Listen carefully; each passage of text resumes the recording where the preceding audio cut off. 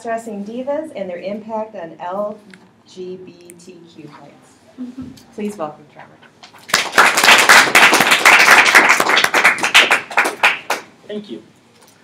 Go to any gay club in the world on a Saturday night, and you will undoubtedly see a drag queen lip syncing to a song by a gay icon such as Cher, Madonna, or Lady Gaga. While some might think that this prevalence of cross dressing in Western society is a modern phenomenon, cross dressing was common in the Baroque and classical Italian opera, where men were castrated before puberty and performed female roles in musical performances. There are a number of cultural differences between the methods and reasons for these gendered performances, ranging from the public's desire to watch these gender bending acts, the performers themselves wanting to try on a new gender. It is interesting to look at these different, different instances of cross dressing in musical performances because cross dressing has been frowned on for so much of history, yet has also been accepted in certain circumstances. While these circumstances have varied greatly, there are some correlations, particularly the use of cross dressing as a means of entertainment. Since the dawn of church music with Byzantine and Eastern European ceremonies, castrati have existed. Composers were writing music for high voices, yet females were not allowed to sing in Christian churches due to the patriarchal nature of the religion. At this point in history, it was mostly monks that were being castrated to, to obtain these high voices needed to sing the parts. Even with the ban on female vocalists in Rome, the fascination with the female voice spread throughout Italy up to Florence, where the Concerto di Donna was formed to perform secret music for, for the court of Ferrara. As the popularity of the soprano voice grew, the need for high voices did in church choirs as well. While Pope Clement VIII took a stand against castration, he said it was authorized for the glory of God. As, as church composers started to understand the possibility of using castrati voices, secular composers started to use the castrati in a number of ways, particularly to play female roles if female singers were not available or allowed. A number of operas use several cross-dressing parts, with one prime example being Alessandro Scarlatti's Pompeo. This is a great work to study due to the diversity of character portrayals done by singers of opposite sexes. The opera has very few roles being played by the sex of the character. Men are playing women, women are playing men, and castrati were being used for both female and male roles. Women playing the role of a man was known as travesti. While there are many instances of this phenomenon, it was most common to, for a woman to play a castrato role when a castrato was not present so that we could still have that high voice. Um, the reason for all of these character shifts was that composers were experimenting with um, combining, combining a lot of different vocal timbres to find the blend that they found most aesthetically pleasing. In some ways, this was a more free and open time for composers, as they were not locked into vocal stereotypes of the heroic tenor and the soprano heroine. By the late 19th century, these standards were so ingrained that cross-dressing had almost stopped, minus historic performance, comedy, and females acting as young boys.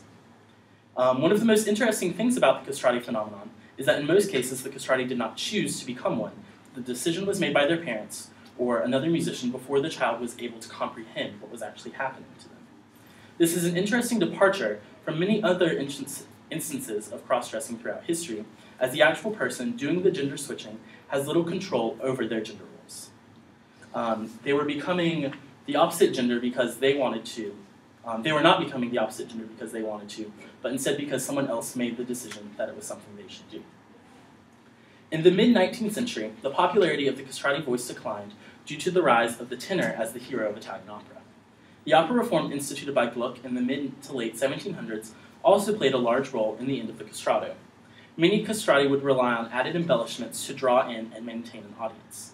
As composers started to limit the performer's ability to do so, they also limited the power of the castrati. To this day, there remains only one recording of an actual castrati singing, though it does not do justice to the apparent crystalline quality of the castrati voice. Perhaps the most infamous castrati of all time, though, is Carlo Maria Michelangelo Nicola Broschi, more commonly known by his stage name, Farinelli. Born in 1705, Broschi moved to Naples when he was young and began to study with the pedagogue Niccolo Porpora. He made his public debut in the 1720 performance of Porpora's opera Angelica e Medoro. While Farinelli would be remembered simply for his career as a performer, his impact on all of music is just as extensive. He was an active composer as well as keyboardist and violist. Above all, his vocal, silencing, vocal stylings and musicianship made him an artist that everyone strived to be like. A true Renaissance man of music, Farinelli is a musician that is far too often forgotten. As Castrati left the stage, another group of cross-dressing performers entered, drag queens and drag kings. Male and female impersonation has existed for centuries, as previously discussed with castrati and travesti. In the mid 19th century and early 20th centuries, a number of high profile male homosexuals and lesbians were known to dress as the opposite sex as a way of helping bring issues of homosexual rights to the forefront of society. During the Jazz Age, a number of African American female jazz singers would dress as men in their acts. Gladys Bentley, seen here, would regularly wear tuxedos in her performances, and there are a number of drawings of the infamous Ma Rainey dressed in full drag trying to seduce women. In the 1960s, drag queen pageants began all around the United States and became a stigma of the homosexual community. However, after the Stonewall riots of 1969, drag queens took center stage in the gay rights movement as they were already out and proud. Different regional styles of drag began to develop across the country through drag shows, balls, and pageants, creating subcultures within the drag community. Many comedic writers know that having a man dress up as a woman is a very easy way to get cheap laughs. But as a culture, we should remember that people dress in drag for a number of different reasons. There is an assumed link between drag and homosexuality, though one does not have to be gay to perform in drag. A number of people become interested in drag, though, because of feelings of transsexualism and believe that it is a good way to test run another body. Others feel that drag is a way of performing gender to an extreme. Judith Butler, the famous um, um, feminist theory writer, says that drag is subversive to the extent that it reflects the imitative structure by which hegemonic gender is itself produced and disputes heterosexuality's claim on naturalness and originality. Butler is saying that the act of dressing in drag is meant to point out the inconsistencies in the traditional view, view of the duality of gender, and the fact that we as humans consistently try to fit everyone into our established dual gender roles. Then there are those who try to break the mold, and they are ostracized from society for their nonconformity. In terms of drag and music, there are two main instances the performers who always dress in drag, and then those who um, cross dress from time to time to make a cultural statement. Drag queens and kings make up a subculture of the gay community. Um, while this community has existed for many decades, it started to come to the forefront of pop culture in the late 1980s and early 1990s. The 1990 documentary film Paris is Burning helped enlighten the American public about what was happening in large cities around the nation. This film highlighted many parallels between drag culture and classical musical training of castrati. In the late 18th and 19th century, most castrati attended specialized conservatories with programs specifically for developing their voices. At these schools, developing singers learned from great talents about how to increase their skills so that they could become opera stars as well. A parallel in the drag world is the presence of drag houses or drag families. These are groups of drag queens who are all mentored by an older, more seasoned drag queen. These drag mothers help their proteges learn about the technical aspects of drag, including sewing, makeup, and lip syncing. Um, similar to how the vocal teachers in conservatories taught young castrati. Most drag queens also go through a process known as tucking whenever they begin the process of getting into their drag personas. This process involves manipulating the male genitalia so that it ap appears more like the exterior of a female's body. Um, while this is not a permanent procedure, like the orchiotomies that castrati went through to obtain their unique voices, drag queens do go to extreme lengths so that they both give a more accurate performance as well as feel more feminine. One of the icons of early drag is RuPaul. Having moved to New York City in the early 1980s, she lived among the homeless drag community of Central Park, um, eventually rising to stardom with the release of her hit single and music video, Supermodel of the World. Not only was this the first portrayal of a drag queen in a positive spotlight, it also started the um, trend of the creation of drag scenes throughout major cities around the globe, as well as an increase in numbers domestically. One drag queen is even quoted or is even quoted as saying, the day RuPaul came out, the number of drag queens went from 20 to 1,000 because every faggot thought, I can be a star too. It was really crazy. I hated her for that. Now I'll show you a nice clip of the music video.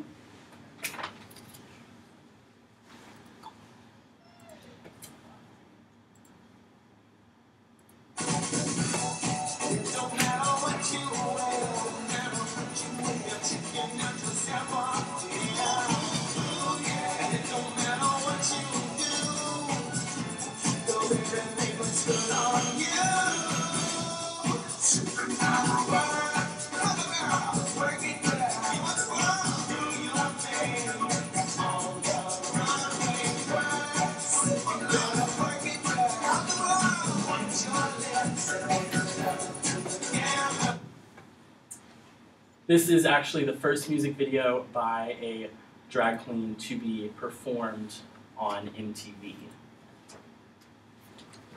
One can interpret this video in a number of ways. She could be singing and dancing this way as a means of shocking the audience, as at this time many people in small towns had not seen a drag queen. She could have been doing this as a way of being arrogant and trying to prove to the world that she is truly the most beautiful woman. Not that anyone would ever dispute that. she could also have been trying to help demonstrate to the audience that there are many different interpretations of beauty, and that all should be valued and accepted. Finally, she could also be seen as helping those who are confused with their gender to realize that they can be whoever they want and will always be beautiful. While the lyrics and the attitude present in this video can make um, some of these seem like a stretch, I do believe that her message is of acceptance. Since Supermodel of the World premiered, there has been an explosion of cross-dressing in popular culture, even to the point that there is a number one reality TV show to help find future drag superstars. In contrast to those performers who only perform in drag, there are those who simply take on a same-sex persona from time to time to make a point. There are examples of performers like this throughout a number of musical genres, with perhaps the greatest numbers being in pop and rock. So, um, stars such as Freddie Mercury, Boy George, David Bowie, and Lady Gaga have all been known to dress as a different gender for shock value or performance reasons. In a recent Lady Gaga music video, You and I, Gaga takes on a number of personas, including male, female, and mermaid. Perhaps one of the most provocative scenes has Gaga portraying both a male and female role. The male persona is known as Jo Calderone, see here, um, a typical hyper-masculine male. Calderone made his first appearance on the cover of the September 2010 issue of Japanese Men's Vogue. Since then, the pop music scene has been abuzz with discussion about who exactly Calderone is and what his relationship is with Lady Gaga. In the video, Calderone comes complete with cigarettes and actions that some could almost interpret as domestic violence. In contrast, her female persona is extremely feminine with neutral makeup and white clothing, leaving us with a feeling of innocence. Some could say that Gaga is doing this for shock value. I would argue instead, though, that she is having the audience think critically about the duality of gender.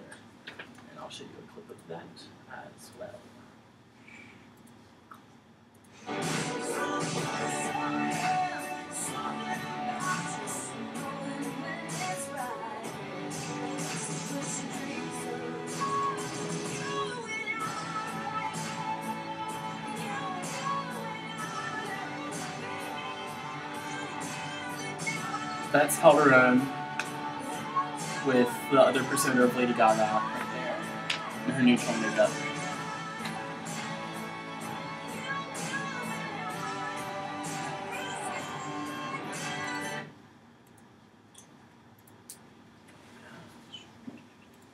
Okay. While the obvious interpretation is that Gaga cannot live without her lover, um, I can see another meaning to this detail. Gaga is saying that she herself cannot live without her masculine and feminine traits, and that others should not either. It is interesting to note that Lady Gaga is a self identified bisexual, having had both male and female sexual partners in the past. A number of her songs deal with her bisexuality, including her early hit Poker Face, which many interpret to be about a woman who sleeps with a man but wishes it was a woman. One could also say that Gaga is trying to make her audience challenge their views on gender, sexuality, and desire. Heather Human brings to forth brings forth a situation in which a heterosexual male who is sexually attracted to Lady Gaga realizes that Gaga is Calderone and that they're the same individual.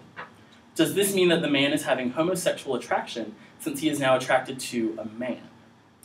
Is a heterosexual female who's attracted to Jo Calderone having lesbian feelings because Calderone is actually a female? Lady Gaga is using her music and music videos to express her feelings of attraction to both genders and in a way, her feelings of identifying with both genders. Within each of us, there are masculine and feminine traits. It is important that we do not ignore either side or aspect of our personality, as this could lead to sexism developing within our society. There are countless other examples of cross-dressing throughout musical history, and they all serve a purpose, whether to fill the role of a missing gender or to question and defy conventional gender stereotypes. The acceptance of cross-dressing in music um, the acceptance of cross-dressing in music um, without coming across as comedic is key. It shows that those in the music community are more concerned about the integrity of the art than those who are creating it. To some performers, cross dressing is who they are. So, for the community at large to make a mockery of it is simply cruel. Humanity has come a long way in our acceptance of alternative lifestyles, though there is still much work that needs to be done. In the eternal words of RuPaul, if you can't love yourself, how the hell you gonna love somebody else? Can I get an amen? Amen.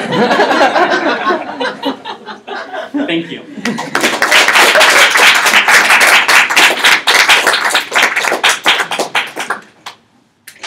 Questions for Trevor? Yes. Trevor, this is not really about music, but I mean, going back even into like Hollywood person like Mhm. Milton Berle and Jackie Gleason, even Mhm. more modern like Little Richard and Mary Yeah, Moore. definitely. I mean, they all went to sort of like cross dressing for Mhm. comedic purposes. Yes. And yet they seem to be much more widely accepted than the so-called, you know, male dressing up as a woman, which has really taken a long time for us to be recognized as who we are. Yes. Um, I really believe that cross dressing, up until recently, has only been accepted as a means of cultural entertainment.